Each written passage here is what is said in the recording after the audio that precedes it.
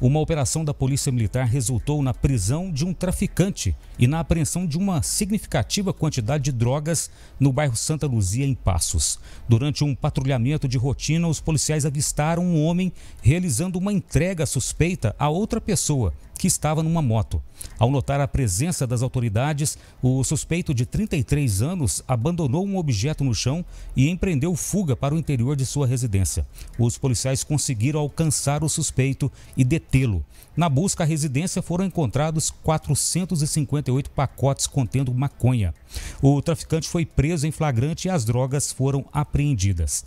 A operação representa mais um esforço das autoridades policiais para combater o tráfico de drogas em Passos e região e reforça o compromisso da polícia em manter a segurança da comunidade. A investigação sobre o caso continua em andamento para identificar outros possíveis envolvidos neste crime.